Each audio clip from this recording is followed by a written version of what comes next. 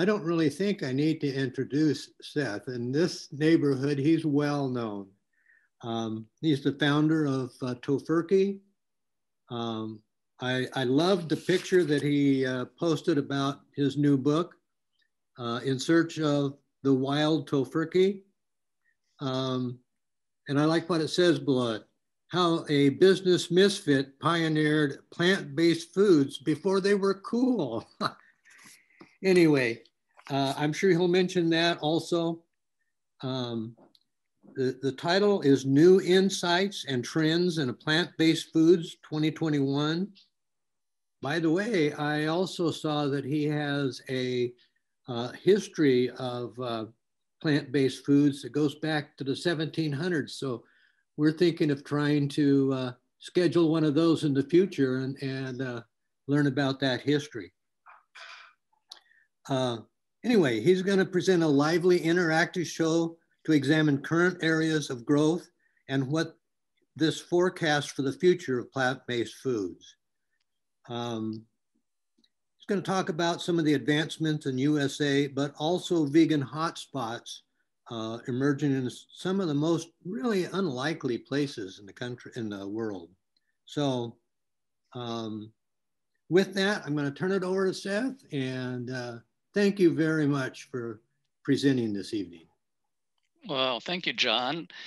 and thank you, everybody, uh, for coming. It's uh, always a pleasure to um, speak with you. I've had a long history with Northwest Veg now and really appreciate all you do for vegetarian and vegan eating in the Portland metro area, and especially that Tofurky Trot that Jacqueline has been uh, organizing so well for so many years. So we love what you do and your mission, and it's just an honor to be here.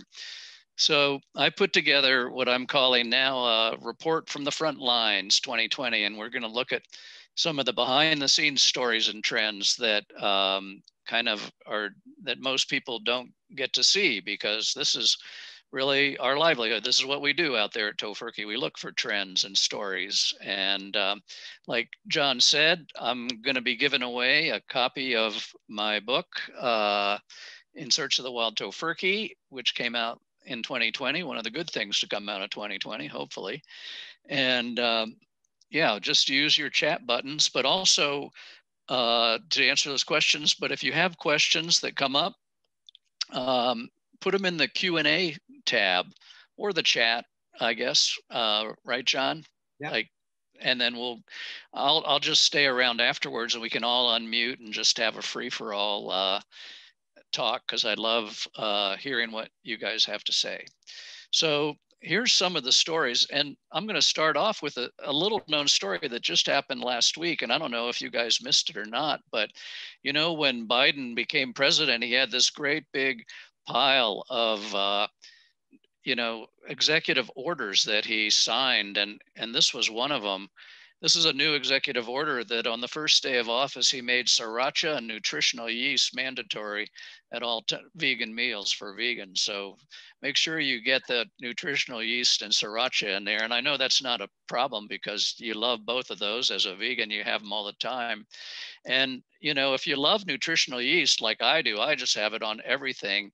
Uh, and this was what I got from Santa this year. I got this I Heart Nutritional Yeast t shirt that is really cool. And I mean, I think that I got a second or something because I really didn't finish it, but I fixed it and put it up there. You know, somebody told me there was some crazy city where they were selling these on the street corner, but I can't believe that. It's probably fake news. But I love me nutritional yeast.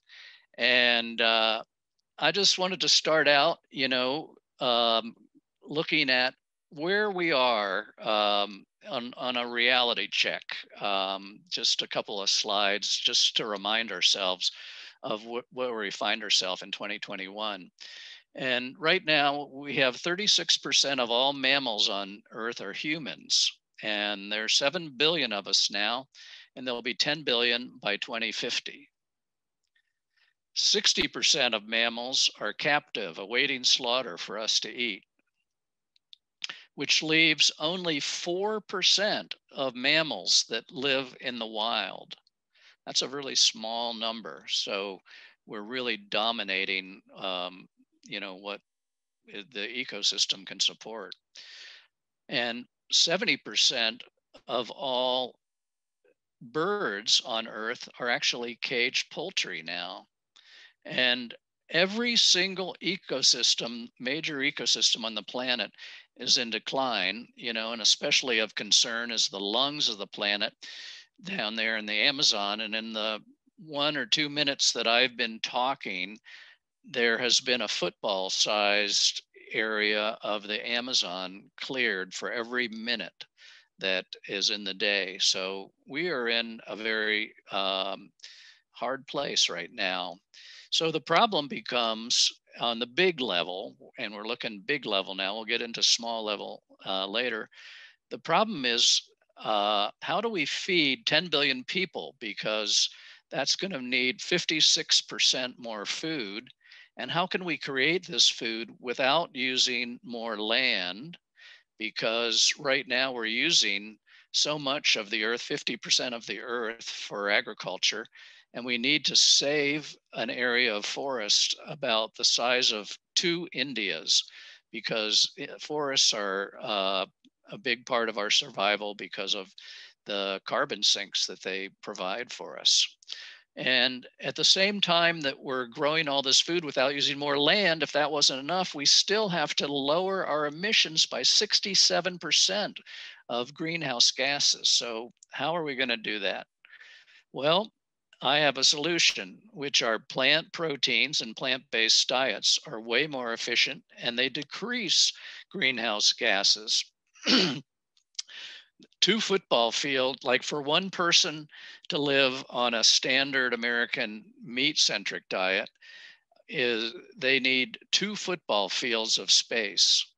But two football fields of space that are used to grow plant-based proteins and vegetables will support 14 people.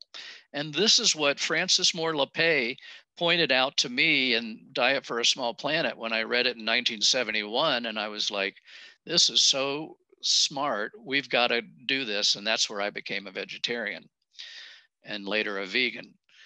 Um, and then not only that, if everyone in the world ate a plant-based diets, there'd be 5 billion football fields worth of land that could be returned to forests. That is huge when you think of the wildlife and how we've only got 4% mammals and that they're decreasing in numbers all the time because we're stealing their habitat.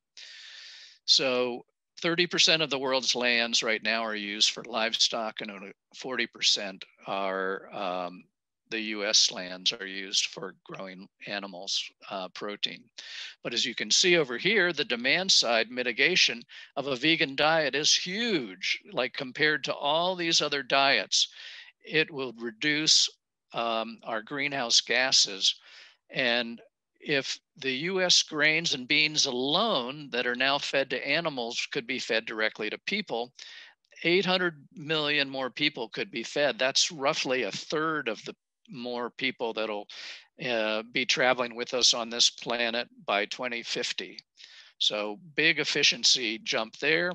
And not only that, a plant-based diet would reduce the amount of land needed for agriculture by 76% and would cut greenhouse gases by 50%. We said, which only leaves 17% more greenhouse gases that have to be cut in order to meet that 67%. So plant-based diets, they are what we need. All right. Um, so let's take a look back at that dumpster fire of 2020 that we all just lived through. And it was a tough year for all of us, and it was a tough year at Tofurky, but uh, we kept everybody safe and happy and tried to make as many adjustments as we could to our plant and to integrate people's schedules because people really have a lot on their plate now. You know, schools aren't open in Hood River where the Tofurky plant is now. So we have to uh, make accommodations for a lot of our employees and bend over backwards to make sure that the family comes first. So it's been a challenging year, but let's take a look at it. In um, the spring of 2020, these this great group called the Vegetarian Resource Group in Baltimore uh, does a Harris poll, and they want to find out how many vegans, how many vegetarians, how many flexitarians. They have all different classes there are in the United States. And so right now, uh, this year, they came up with 3% of us are vegans, 3% of us are vegetarians, and 36% of us are flexitarians, which means they eat both animal based proteins and plant based proteins, which leaves about 58% of the American public uh, is unconverted. But this section of the pie is over 100 million people that uh, are now either reducing or eliminating their uh, meat intake of animals. So great news there. Uh, if you dig into this deeper, you will find in the demographic that 8% of African Americans are vegan, only 3% of America as a whole, but 8% of African Americans are vegan. That's more than double the percentage of any major demographic group in the US. Big number. I also have been doing this readings, as John was saying, on history, and I found this poll from 1943 that said 2% of uh, Americans were vegetarians or vegans. Actually, the word vegetarian was the only word then. The word vegan wasn't invented until 1945, two years later. So in 1943, there were 2.7 million vegetarians and vegans in America. Uh, which had a population of about 139 million at that point. And in 2020, there are 19.4 vegetarian eh, uh, million vegetarians and vegans, or about 6%. Doesn't sound like a lot of growth, but when you look at it population wise, the US population from 1943 to today has grown 2.4 times. And in the since 1943, the um, number of vegetarians and vegans on the planet, on our country, has grown seven times. So, vegetarian and veganism is growing about three times as fast as the population growth of America. okay, so let's break down more. These are the main classes of plant based foods the biggest class by far and the most successful part of plant-based foods is milk. Plant-based milks are great. Um, and as you can see here, I'm looking at two things. One is the growth of plant-based um, items, and then the orange is growth of animal-based items. So you can see milk, there's barely anything. It's, it's like completely flat in growth. There's no more there's no growth in animal-based milk. In fact, it's declining and has been declining uh, a little bit for years. Meat, on the other hand, plant-based meats soaring, animal-based meats up a little bit. Uh, yogurt, again, you can see yogurt, creamer, cheese, butter, ice cream, all of the plant-based items are outgrowing the animal-based items. But um, you do see that creamer and meat and butter, these real fatty things are what's growing. But if you look at it further, 14% of all the milk sold in the USA in the supermarkets was plant based in 2020. That's a huge number. Um, and, you know, there uh, items like Oatly. I love Oatly. I love this phrase. It's like milk made for humans. But uh, milk is the shining star because, um, and it's way less uh, plant-based meats, which we'll see in our next slide. And this is an interesting thing. Today in um, Europe, there was this meeting, there's this amendment that's been passed, and there's a meeting now to finalize it or reject it and it's amendment number 171 and it's um, about milk. They're afraid this is like they're trying to protect dairy. And it's not just like in this country you know you have names like you can't call it milk or you can call it milk.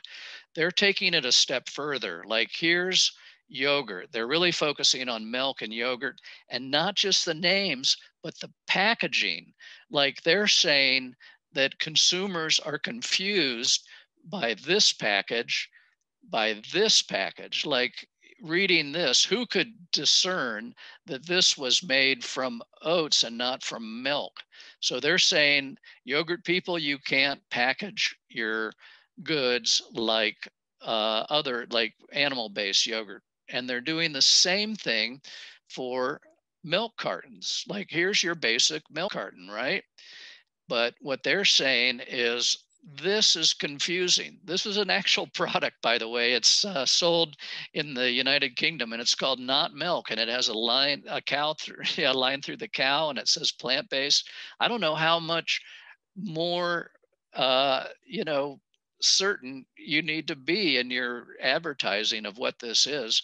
But you can see, like Oatly would be the same thing. Like this is confusing to people, and um, I'm telling you what, if this is confusing to people, I wonder if people are going to the store and they're buying this by mistake. They think they're buying milk. It's in the same carton. Are they saying that people can differentiate between orange juice and uh, cow milk, but plant-based milk is too crazy? So this is a real uh, serious problem and it has ramifications all across Europe. And I can't wait to see what they decided to do because it's actually today. Okay, look at uh, refrigerated meat alternatives, which is what Tofurky sells in as a class. Uh, we sell in refrigerated meat alternatives of all food in US supermarkets. And, you know, it's not just Tofurky. We're talking about Beyond Meat here. We're talking about Tempeh from Lightlife. We're talking about field roast sausage. And we have two lines of growth here the or orange line that you see at the bottom is all food in the supermarket. That's like potato chips and candy and vegetables and meat and everything. And you can see that that has been growing at about two or 3%. If they get two or 3% of growth, they're like breaking out the champagne and saying, we had a successful year. Well, in 2020, when more people were not going out to eat and they were cooking at home more, look at that. They had a great year. So it went up to 10% growth in the supermarkets of all food. But look at this line. This is what we call a hockey stick growth because it looks like a hockey stick. And you can see that starting in 2017, an already uh, good category that was growing at an average of about 5%, so about twice what all food grows at, suddenly went up to 15%, 2018, 40%, 19, 50%. I just got this in, and as of December 31, 2020, the growth of refrigerated plant-based meat alternatives in the supermarkets was 88% over last year. So that's an incredible number of, uh, you know, that growth. You just don't see that kind of sustained growth like that. And so the supermarkets are just trying to get more and more plant-based items in. So that's a really good thing. And you know, we love Beyond Meat, we love Lightlife, we love these aren't competitors. We want all vegan um, products to succeed because we have a lot of work to do. This is only 1% of all of the eh, the protein market. Meat outsells plant-based meats even with this growth $99 to one. So we have a $1 market share out of 100 and they have 99. So we have a lot to go and we need all these brands to succeed. And not only that, but US per capita meat consumption of animals in 2020 was 220 pounds a year. And thank you, all you vegans like me. I'm a vegan, so I'm looking at this and going 220 pounds a year. That means somebody out there is eating 440 pounds of meat a year, right? So um, the point is, this is a very high, meat consumption is still high, and we're growing, and we're going to sooner or later overtake it. Okay, get your chat button out. Everybody find your chat button. It's time to play Jeopardy. Uh, I'm going to give you just a second to do this. You can see uh, this is kind of a clue about what we're going to do. Um, and John, are you are you with me? Are you going to be able to read out these answers when people fire them in? Sure can. I'm ready. Okay. I hope everybody else is ready and they have found their chat.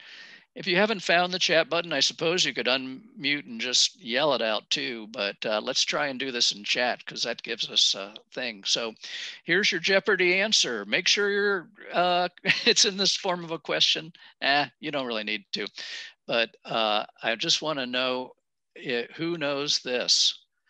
Here's the Jeopardy answer for one free Tofurky coupon original name of Whole Foods Market.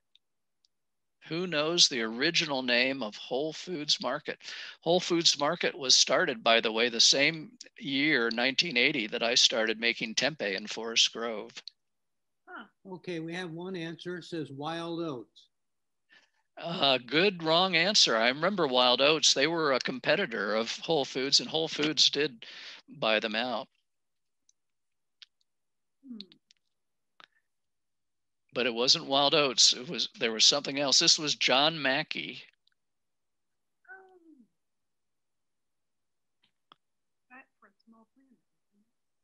Anybody else? Well, I'm not getting any.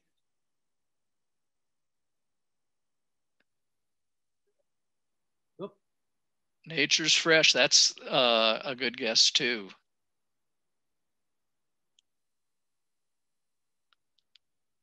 That was in Portland, of course it was. And Sprouts is another one.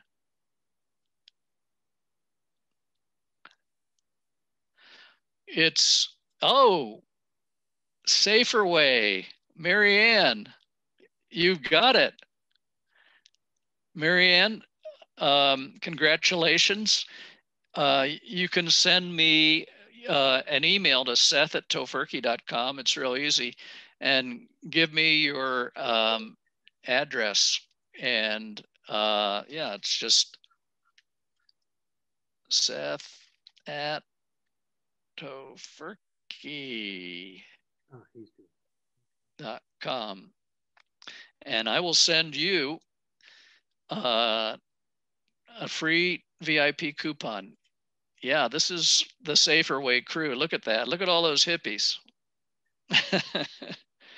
That was 1980, and that was in uh, Austin, Texas. All right. Good job, Marianne. Good job, everybody. We'll have some others. So, you know, everybody asked this, like uh, I was on a panel today and they were asking, how did COVID-19 affect your business? Well, we had a very good year and, you know, we grew over 20%, which is really good for a, um, older, mature company like Tofurky that's been in business for 41 years. But, um, you know, these guys, DoorDash and Grubhub, really uh, went wild too. So they've been doing a, a couple of studies on DoorDash and Grubhub, and this is what they found. They found that vegan burgers were up 433% over last year people really are starting to connect, you know, this pandemic to diet. They also found that 70% of customers spent more time cooking. Huh, no kidding. You know, who's going out to eat?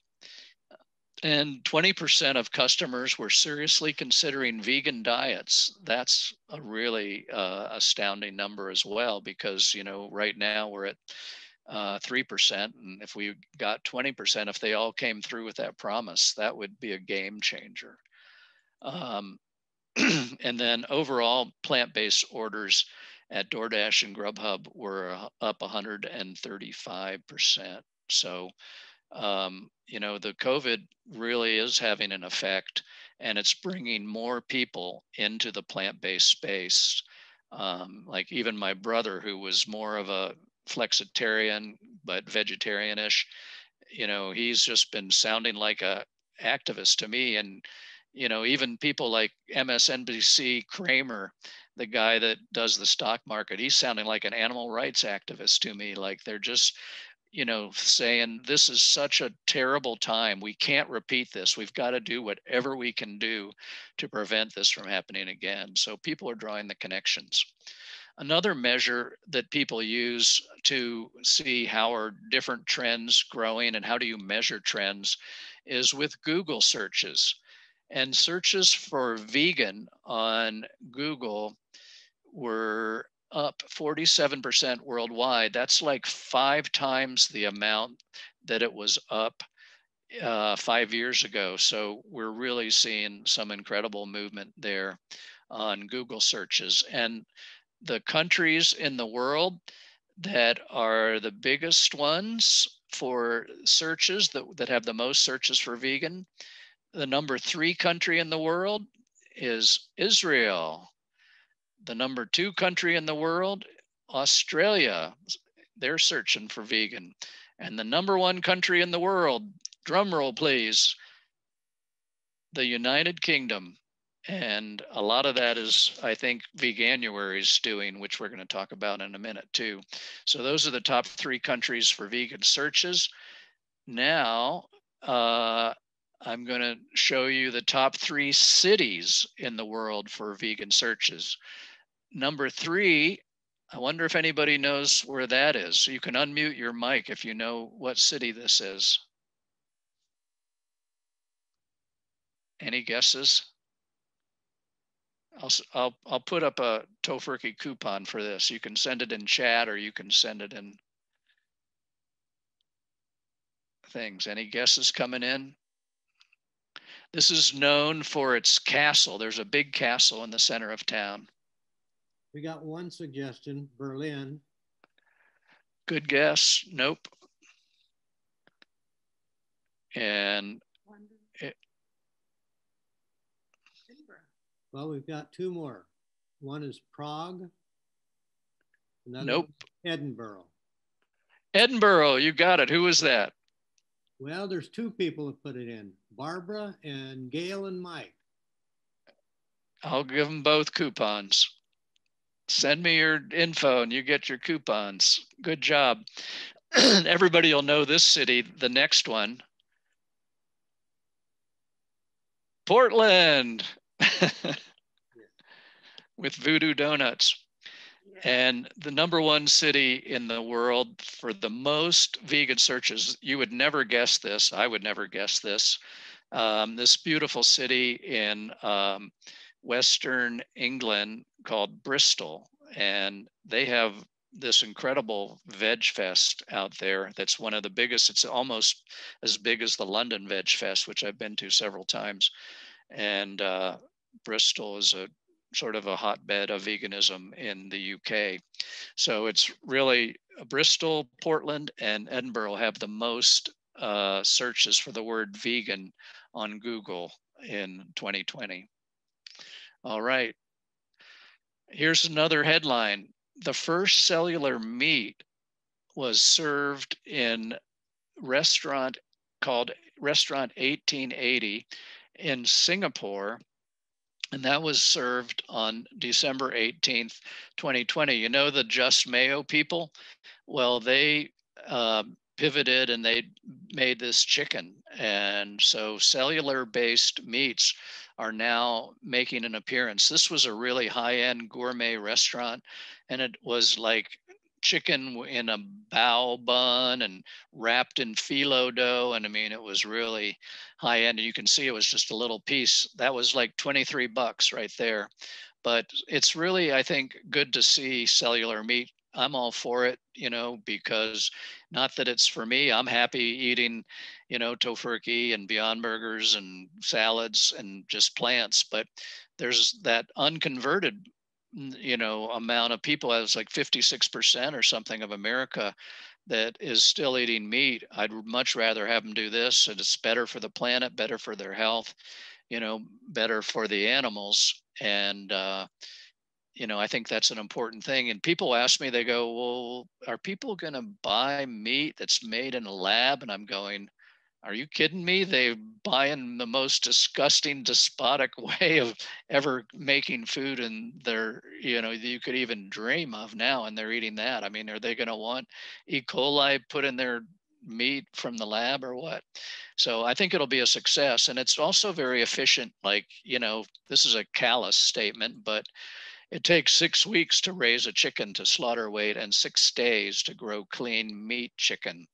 Um, so once again, if you know you're you were not talking about animal welfare, but just on the pure efficiency uh, scale, this is a much more efficient way of growing uh, meat.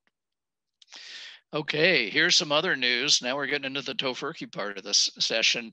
We have uh, sued another state. We we're kind of on track to sue, the last three years. We've sued three states. We sued Missouri two years ago. Last uh, uh, one year ago, we sold.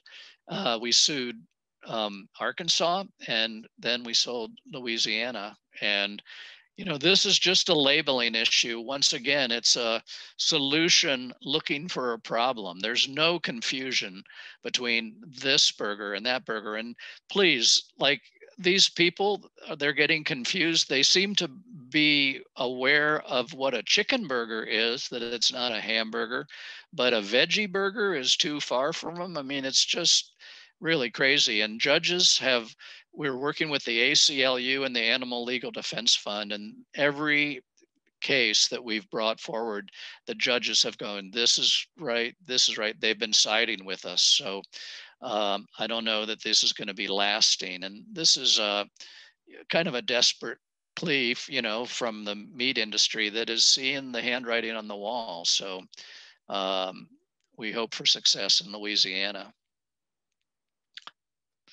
Okay, here's another headline. Tofurky introduces three new vegan cheeses. You know, people think of us as meat, but these are tapioca, coconut oil, uh, faba bean, and potato starch cheeses. We've been working on these for about five years, and a lot of the cheeses that are out there now have uh, the the formulas have been around in a while. You know, the vegan cheese market is very young. Like the first vegan cheeses I ever saw were the ones like Tofu-Rella. Maybe some of you remember that. And there were Soyakos, and I uh, saw them. They were in the shelves about 1991 or two.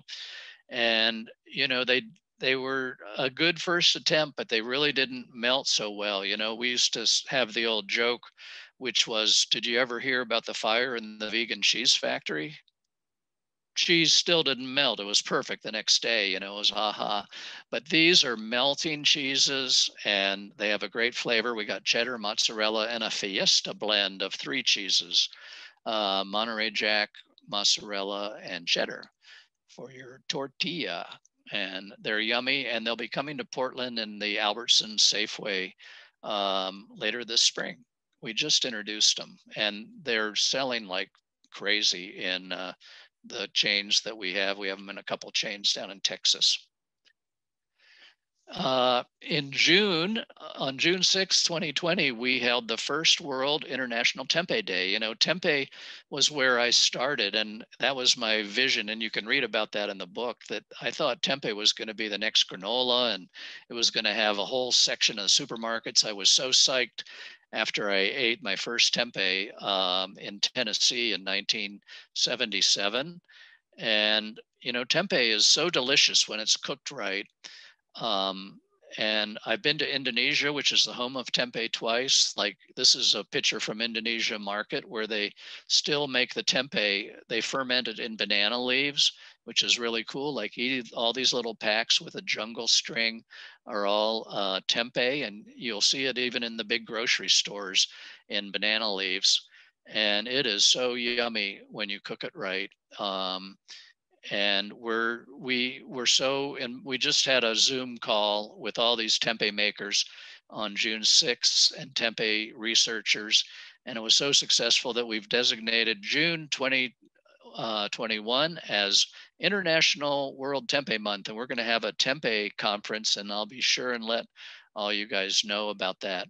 Um, this is a uh, photo of a mock-up of a big Tempeh plant that is going to be in Indiana that Greenleaf Foods, that's a part of Maple Leaf Foods, and they own Lightlife and they own um, Field Roast both. And they're putting $100 million into this 100,000 square foot tempeh plant that'll employ 200 people. So this is pretty big news in Tempeh. We've had to expand our own operation and uh, bigger incubators and bigger machinery to produce tempeh. So don't sleep on tempeh. Tempeh is still going to make it. It's a great food. Um, I love the new, you know, Beyond Burgers and Impossible Burgers and stuff like that. But when you eat a tempeh burger or a tempeh sandwich, you just feel so good and so light and powerful and strong. So it's just a great food. I, I just love tempeh and have a lot of belief in it. So uh, here's what's happening in corporate America. You know, they are just seeing that there is money to be made in this plant-based foods. So you have groups like Tyson launching plant-based meats. You got Sweet Earth that was an independent company was bought by Nestle. You've got Heinz with Mean Beans, uh, vegan beans. You've got Gardein now owned by ConAgra, one of the biggest meat companies in the world. And I actually eat these breakfast uh, sausage patties quite a lot. I love them. Um, then you have Happy Little Plants.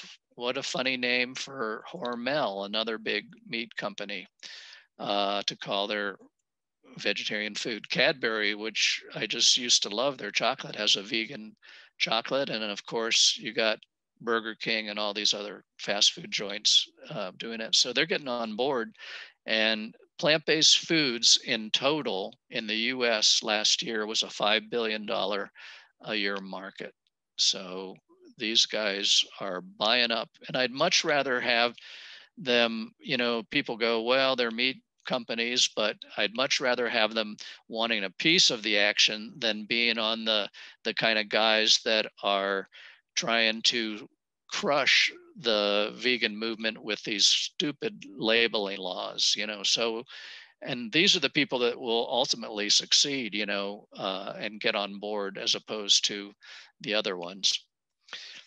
Okay, so fast food chains add vegan items. You know, uh, one of the big fast food chains that you've seen a lot of was Beyond Meat and KFC. They have done they've got this bucket and they got a green bucket. They've got some vegan chicken, which is great. But here's another story. This is uh, a friend of mine, Matthew Glover, who started uh, Veganuary and he stopped doing Veganuary to become an investor. He's on the board with me now of Veganuary, but this is him and his partner Adam, and they have this product called VFC, vegan fried chicken. And they brought it out in January for Veganuary, and it's just going crazy in uh, the UK. It's so good. He's sending me over a package next week. I can't wait to try it.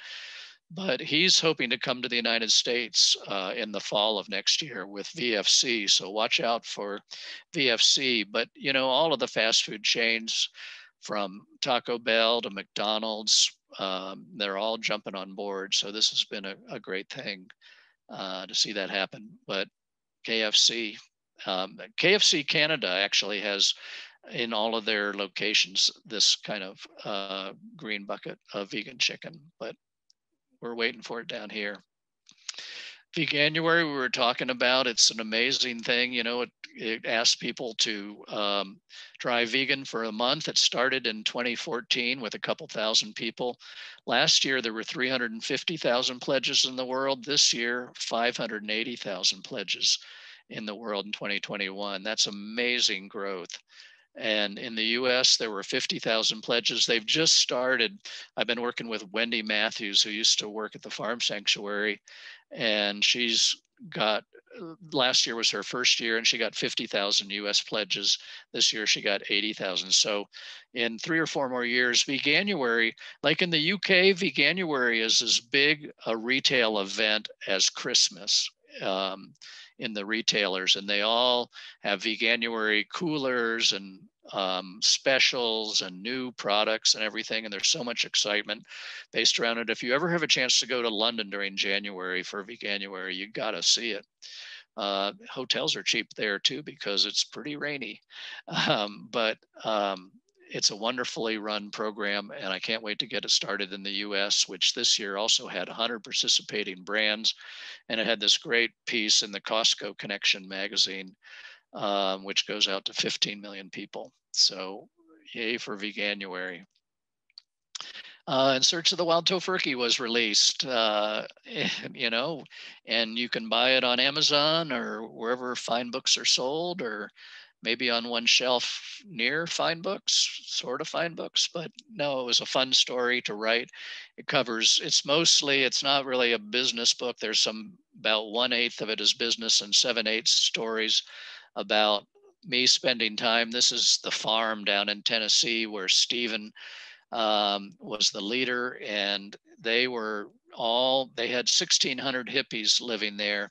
And when i visited them and found tempeh and they were all vegans but they didn't even use the word vegan. They called themselves pure vegetarians then because vegan wasn't in the lexicon. It had been invented but it hadn't been used popularly. And they were doing cutting edge stuff. It, they were really good people.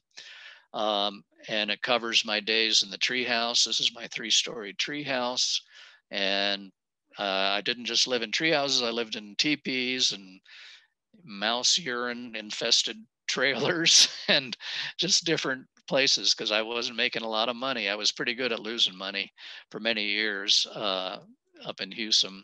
And it also covers my days uh, selling tempeh to the Rajneesh. This is the biggest tempeh meal in his American history, and it was uh, right out there at Rancho Rajneesh for a big guru festival they had in 1983, and they made sweet and sour tempeh for 10,000 people. So it's all in there. It's all in the book, and we're going to give a book away here in just a minute. Um, here's a, a, headline I love to see um, on the animal rights sort of thing. You know, China permanently bans consumption of wild animals because there was this connection between bats and pangolins and these wild wet markets. And it's not just China, you know, this goes on in the US and all over Europe too. So uh, we just got to leave the animals alone. And we got to get people to stop using super glue. I think they're using super glue on their eyelids as eyeshadow because they're keeping their eyes closed and uh, not seeing the suffering of animals. So we got to get them off of the super glue and use some other kind of good eyelid coloring. Um, so what do we look for in 2021? Here's my guesses of some of the products that we'll find coming out. Um, there'll be more vegan seafood. You know, vegan seafood's getting better and better, and uh, you know, it's not just the land animals that suffer, but you know, they say by 2050, some people say there won't even be fish left in the ocean. So uh, there'll be every kind of seafood from shrimp to scallops to salmon, and um, I can't wait for that day. But I think that more than that, I'm looking for steak, and I'm surprised no one's done it. You know, like these are like whole muscle meats, like uh, pork chops and uh, spare ribs and steak. So I think uh, we'll probably see some steak before the year's out. Um, on the Tofurky end of things, here's a sneak preview. We've got three flavors of cream cheese that are incredibly yummy too. We've got a plain and a strawberry and a garden vegetable one, and, and they should be out um, this summer. And lastly, flavored tempeh. You know, there's nothing like good tempeh, but tempeh has always been sold in cakes, and this is like pre-marinated flavored tempeh. There's some great tempeh snacks and different things that are being um, on the R&D tables of people now, and I really think tempeh is poised to make a big move in the years to come. So can plant-based foods become the dominant paradigm in our future, you may ask? Good question.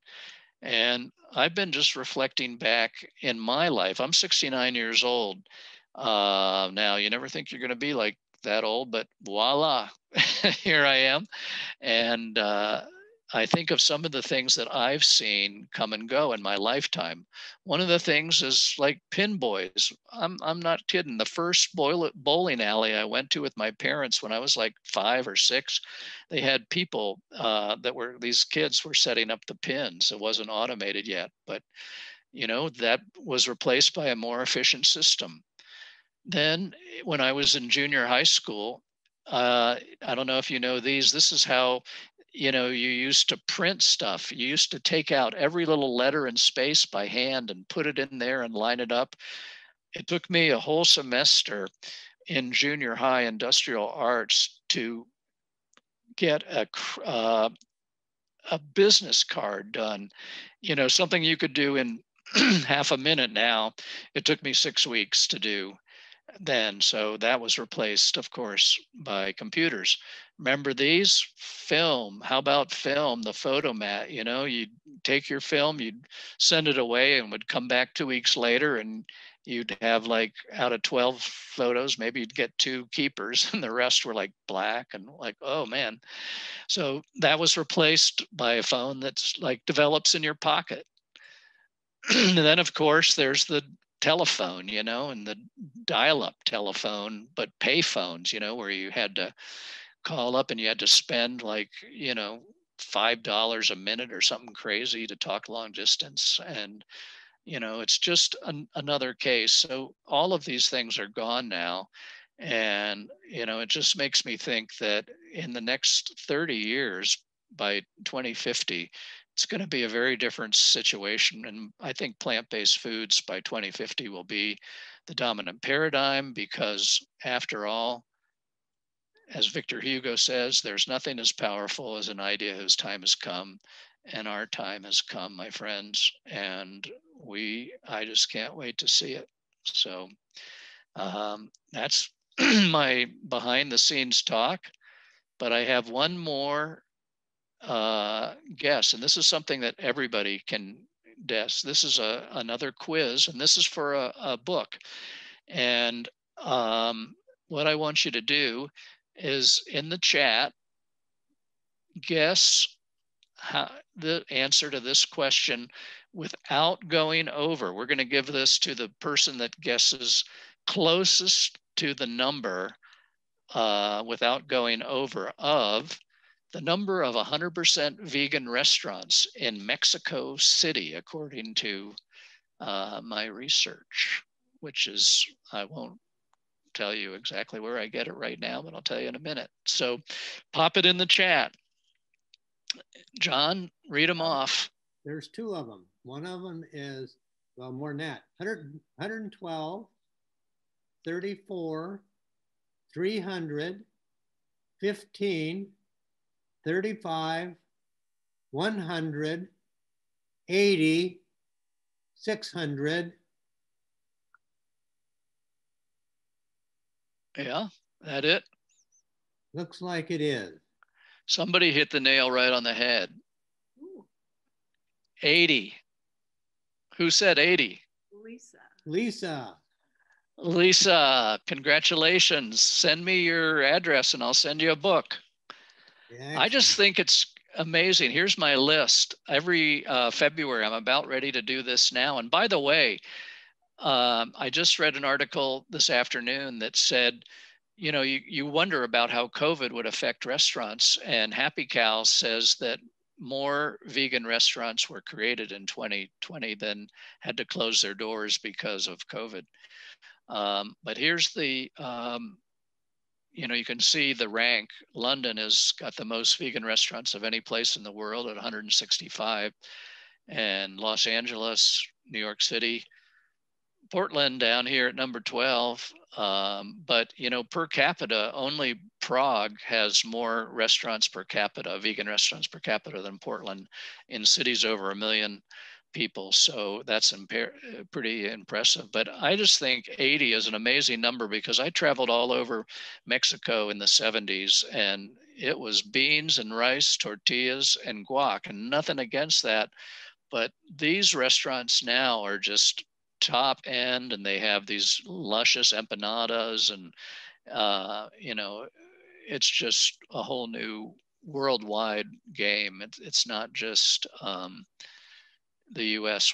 or England where this is happening, but it's it's all over the world. And uh, you know, we sell product in places like um, Slovakia, down there in Chile, um, all over Europe, Spain, France. I mean, the world is, you know, New Zealand, all these crazy places, uh, Singapore, um, even Kuwait.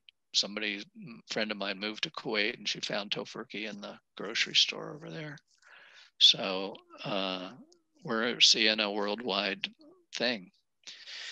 So, anyways, um, maybe it went on longer than I thought, John. But uh, if anybody has any questions or things I want to talk about, um, I'm here. Let's let's chat. I, I have a question for you, Seth. Um, how many countries do you sell your products in? Oh, that's a good question. I would say um, that it's about probably two dozen. But I'll say this, the sun never sets on the Tofurky Empire. it's, all, it's all over the world. But um, do you know what's another amazing thing about Mexico? Mexico is the country, you would never guess this, the country with the most, the biggest chain of vegan grocery stores is in Mexico. And it's this chain called Mr. Tofu and they're all over. They have two or three in Mexico City. They're in Monterrey, They're in Guadalajara. They're in um, just spread out all over Mexico. They they have 13 and they're adding two more this year to make it 15. That's the biggest chain of anything in the world. And everybody thinks like Germany is this vegan hotspot, and it is. And but they, you know, there was a company, Veganz, that was talking about even coming to Portland like five or six years ago. Uh, and, you know, we sell to them, but they had the idea, the same idea that, you know, these kids that started this uh, Mr. Tofu chain down in Mexico, and they had 10 vegan stores all over Germany, but now they had to reduce it because they couldn't make it. And uh, there's only three, and they're all in Berlin. Hmm. And so here's Mexico with like 13 going on 15 uh, chain of vegan stores, and here's Berlin with only three. Amazing, huh? Good. Yeah. Here's here's another question: Is the faba bean the same as the fava bean? Uh, no, faba is like um, it's a, it's a natural coagulant, and I believe it's from garbanzo beans, um, but it has the functionality in there. I should know that, um, but um, fava bean is different. Let's see what it says for faba. Not the B and the V are right next to each other, so I typed in. It's hard to do it. Uh, oh no, it is. You're right. It is from that. I'm I'm mistaken. It is from the fava bean. Okay. Yep. All right. Next question. What what's the threat to your business in the coming years? That's a great question. Um, you know, one of the threats, I'll tell you some of them. Um, it was not like uh, we're not, uh, and especially me, you know, like it says on the book title, a business. I'm a business misfit, right? So I didn't sit there and go, hmm, where's the best place to make a Tofurky plant or a tempeh plant? Ah, Hood River. Hood River is a great place to live, but it's not you know, really this industrial place. And there's, we paid more for the one and a third acre that the Tofurkey plant is on on the waterfront. You know, I mean, we love being on the waterfront and it's beautiful and it's a great place to live. And that's what we cared about. But we paid more for that one and a third acre that we're on, and we don't have any room to expand now because we built as much as we can on that. Then we paid more than Amy's paid for 51 acres in Medford. I mean, we're not the smartest you know business people like that. So that's one thing is you know how do we grow? And then two the other thing about hood river is we're becoming you know we're one of the bigger employers in town. And um, you know and when you have events like covid um, you know and some people have to like i was referencing take care of their families and you need other people to substitute for them it's not a huge labor pool so we're pushing the limits of the labor pool.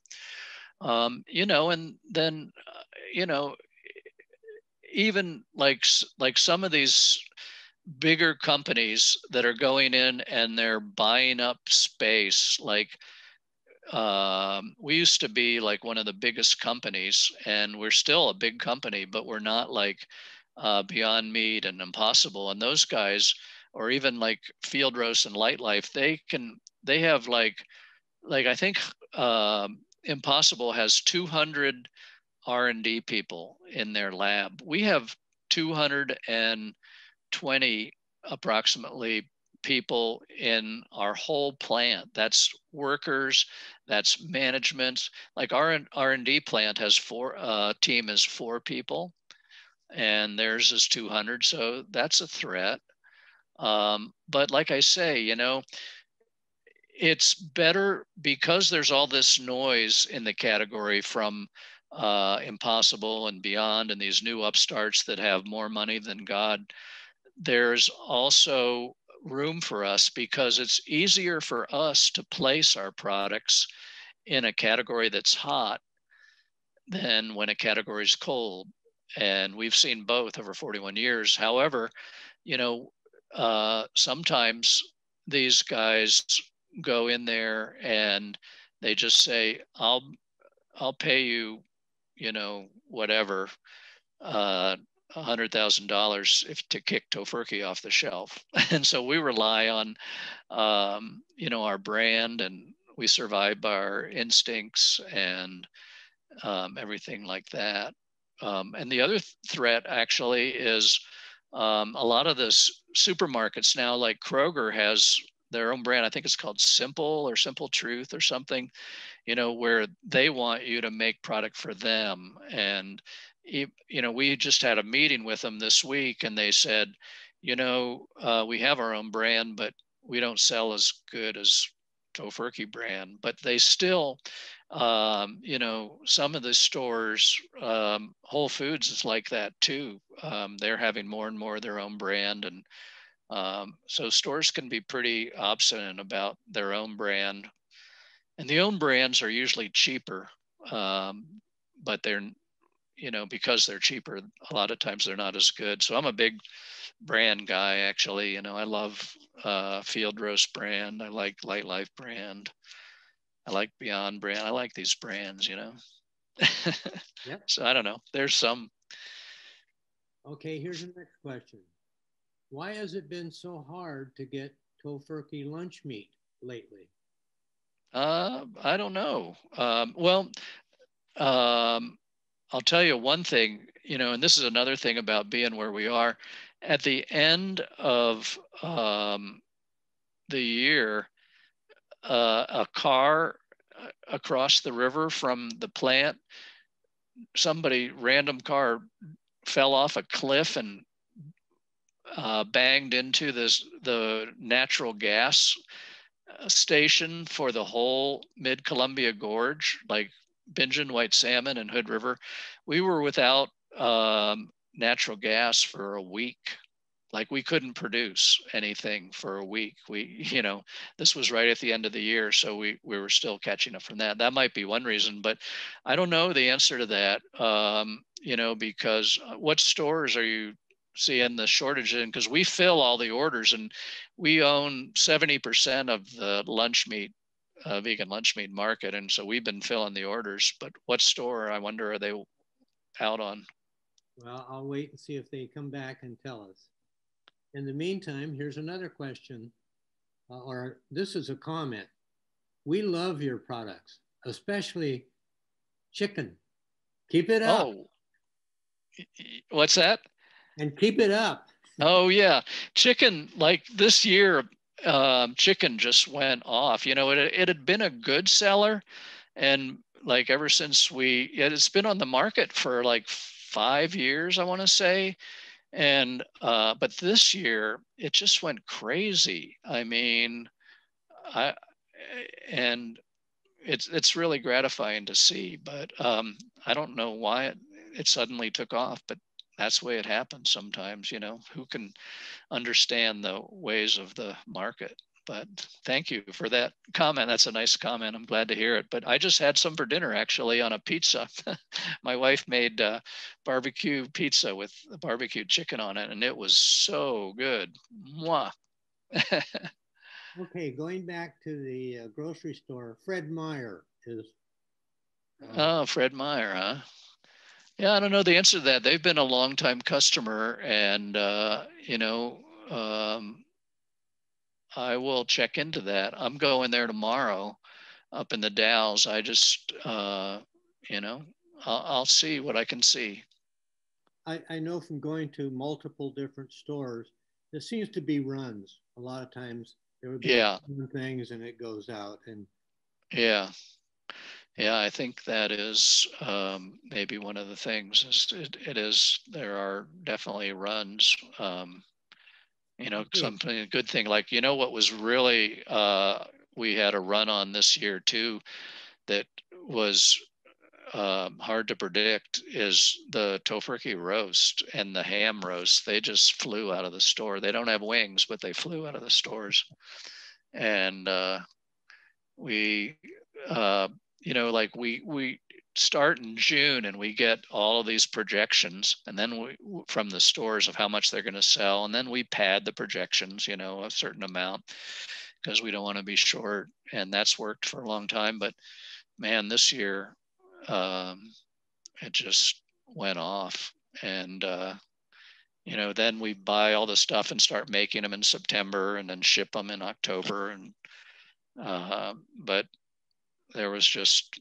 shortages. And i think some of it is there were just like whereas people were gathering you know maybe there'd be one Tofurky for a big gathering now they all had to be at home. There was 12 gatherings or six gatherings and so they all had to have roast or something but i don't know but you know you uh, you do the best job in forecasting but we've done a pretty good job you know we're really set up now for uh, making the deli slices so we can that's not it's harder to make the roast because there are more components and uh, it's kind of a seasonal thing. We make roasts all year round but it's a real seasonal push so. But i'll have to check into that on uh, deli slices. I'm sorry to hear that. Next question. Will new seasons and chucks have uh, your cheese? Uh don't know. It just came out like literally last month, and uh, I think they, you know, new seasons. The both of those stores have been really good about uh, stocking our products, so um, we should have them well, into those stores. I would think within the next year. Yes, I would hope so. I'm going to make. I'm making notes here and the uh, one of the other attendees said they just saw Moocho at New Seasons and look forward to trying it. Oh, really? It's at New Seasons now. Yeah, that's what it says. So. Oh boy, I love that. Okay, here's the next one. I love your products too. What is your favorite way to eat tempeh? I'm looking forward to the new options you'll be producing. What? Well, uh, one, more, one more comment. What? There's a ham roast too? oh, yeah. The ham roast is unbelievable. Uh, we've had that out for a couple of years now, and um, it comes in this casing that's um, looks like a honeycomb kind of casing. So it's beautiful when you take it out. And then, you know, you can go to tofurky.com and you can see pictures of it, but there's a baste that goes on it. And oh my God, the baste is just so yummy. Um, so we do have that. But uh, as far as tempeh goes, uh, I have so many ways that I like to do it, you know, but if um, I think, you know, having a, a tempeh lettuce and tomato sandwich is pretty hard to beat. You know, just get the smoky maple bacon tempeh and I fry it in a pan and put it on toast with veggies and tomato and lettuce. Uh, that's awful good. Although I also have a good um, tequila tempeh recipe where you um, marinate tempeh in lime juice and tequila and um, garlic and chili. Oh man. And then you grill it on the grill and make like shish kebabs. And, you know, all the alcohol blazes off on the grill, but it just imparts this really je ne sais quoi flavor. But I just love tempeh, even like just taking a strip and cooking it. I make my own tempeh at home too, and I have access to our tempeh. You know, tempeh is one of those products that when you eat it fresh, uh, like right out of the pan, right out of the incubator, it's just unbelievable. We, we like to make uh, uh, tempeh wraps too. So. Oh yeah. Okay. Um, we are very lucky your products have been available for people to eat vegan. When I talk to people, your products have given recognition to eating vegan. Oh, nice. I that makes me feel good. I mean, that was the whole idea, you know, the whole idea wasn't like you'll see in that book.